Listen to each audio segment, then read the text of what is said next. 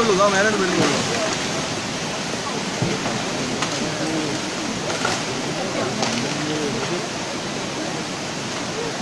Hello friends എല്ലാവർക്കും നമസ്കാരം. Info media ബ്ലോഗിന്റെ മറ്റൊരു വീഡിയോയിലേക്ക് ഏവർക്കും സ്വാഗതം. ചാനൽ സബ്സ്ക്രൈബ് ചെയ്യുക വീഡിയോ ഷെയർ ചെയ്ത് മറ്റുള്ള ആളുകളിലേക്ക് എത്തിക്കുക. ഫേസ്ബുക്ക് പേജ് ഫോളോ ചെയ്യുവാനും മറക്കരുത്. സംസ്ഥാനത്ത് അതിശക്തമായ മഴ തുടരുന്ന സാഹചര്യമാണ്. പന്ത്രണ്ട് ജില്ലകളിൽ അതിശക്തമായ മഴയുടെ ഓറഞ്ച് അലർട്ട് ഇപ്പോൾ പ്രഖ്യാപിച്ചിരിക്കുകയാണ്. തിരുവനന്തപുരം കൊല്ലം ഒഴികെയുള്ള എല്ലാ ജില്ലകളിലും അതിശക്തമായിട്ടുള്ള മഴ ഉണ്ടാകുമെന്നാണ് കേന്ദ്ര കാലാവസ്ഥാ വകുപ്പിന്റെ അറിയിപ്പ്. മാത്രമല്ല പല ജില്ലകളിലും ഉരുൾപൊട്ടുന്ന സാഹചര്യം ഉണ്ടാകുന്നുണ്ട്. അതുപോലെ തന്നെ വെള്ളം റോഡുകളിലേക്ക് കുത്തി ഒഴുകുന്ന സാഹചര്യം പലയിടത്തും ഉണ്ടാകുന്നുണ്ട്. ഇതിന്റെ ദൃശ്യങ്ങളൊക്കെ നിങ്ങൾക്ക് കാണുവാൻ സാധിക്കും. കൂടാതെ തന്നെ കഴിഞ്ഞ ദിവസം ആ, ഉരുൾപൊട്ടുന്നതിന്റെ ആകാശ ദൃശ്യങ്ങൾ നമുക്ക് ലഭിച്ചിരിക്കുകയാണ്. നിങ്ങൾക്ക് ഈ വീഡിയോയിലൂടെ ഇപ്പോൾ കാണുവാൻ സാധിക്കും.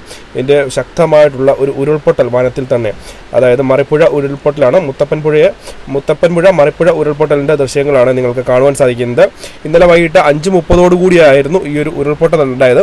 എന്തുതന്നെയായാലും വരുന്ന അഞ്ച് ദിവസം കൂടി സംസ്ഥാനത്ത് ആകമാനം അതിശക്തമായ മഴ ഉണ്ടാകുമെന്നാണ് ഇപ്പോൾ അറിയിപ്പുകൾ വരുന്നത്. ഇടമലയാർ ഡാമിന്റെയൊക്കെ ഷട്ടറുകൾ കൂടുതലായിട്ട് ഉയർത്തുന്നതുമായി ബന്ധപ്പെട്ടുള്ള നടപടികൾ ഇപ്പോൾ വരികയാണ്. ഇടുക്കി ഡാമിലേക്കും അതുപോലെ തന്നെ മുല്ലപ്പെരിയാർ ഡാമിലേക്കും കേരളത്തിലെ എല്ലാ ഡാമുകളിലേക്കും ജലനിരപ്പ് നല്ല വേഗതയിൽ തന്നെ ആയിട്ടുണ്ട്. അതുകൊണ്ട് ഡാമുകളെല്ലാം വേഗത്തിൽ തുറക്കുവാനുള്ള സാഹചര്യം വളരെ കൂടുതലാണ്. പൊതുജനങ്ങൾ അതീവ ജാഗ്രത പാലിക്കുക. പ്രത്യേകിച്ച് ഇടുക്കി കോട്ടയം പത്തനംതിട്ട അതുപോലെ തന്നെ കണ്ണൂർ മറ്റ് മലയോര മേഖലകൾ കൂടുതലായിട്ടുള്ള ജില്ലകളിൽ താമസിക്കുന്ന ആളുകൾ അതീവ ജാഗ്രത പാലിക്കണം. ഈ മേഖലകളിലെല്ലാം തന്നെ ഉരുൾപൊട്ടുവാനുള്ള സാഹചര്യമുണ്ട് എന്ന് ഇപ്പോൾ ഔദ്യോഗികമായിട്ടുള്ള അറിയിപ്പുകൾ തന്നെ വന്നിട്ടുണ്ട്. വരുന്ന ദിവസങ്ങളിൽ കൂടുതൽ ശക്തമായിട്ടുള്ള മഴ ഉണ്ടാവുകയാണ് എന്നുണ്ടെങ്കിൽ ഓണം തന്നെ വെള്ളത്തിലാകുന്ന ഒരു സാഹചര്യം ഉണ്ടാകും എന്നുള്ള അറിയിപ്പുകൾ തന്നെയാണ് നമുക്ക് ലഭിച്ചുകൊണ്ടിരിക്കുന്നത്.